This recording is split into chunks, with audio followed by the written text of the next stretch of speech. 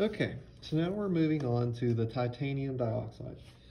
So what I have here in this test tube is 0.500 grams, and I felt very proud that I literally weighed out that exact amount, so it is worth bragging about. so what I'm going to do is add this one mil of water to it, and we're going to completely and record whether or not it's dissolving and note any temperature change. So again, the water's at room temperature and everything. Okay, so there's Now the test tube, as of right now, doesn't feel like it's changing temperature. Kind of feels like it's staying the same to me.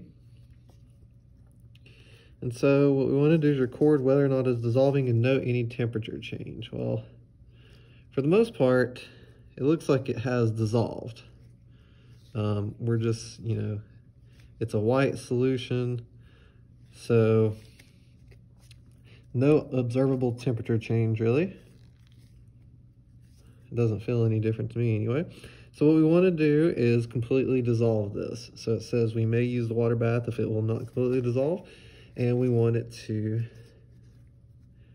do that using the hot water bath. So what I'm going to do is I'm going to heat this up and I'll come back and let you know what happens.